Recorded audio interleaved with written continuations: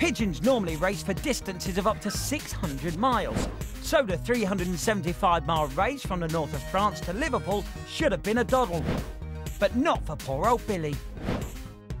Somehow he managed to take a wrong turn. Then he got attacked by a hawk. So he hitched a ride on a boat. And amazingly, he eventually ended up in a loft apartment in New York.